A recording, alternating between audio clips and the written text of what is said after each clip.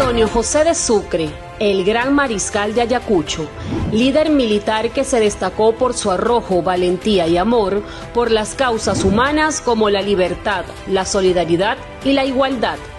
El honor y el patriotismo sellaron la vida de este joven cumanés, que recorrió Suramérica en busca de la emancipación y unión de los pueblos.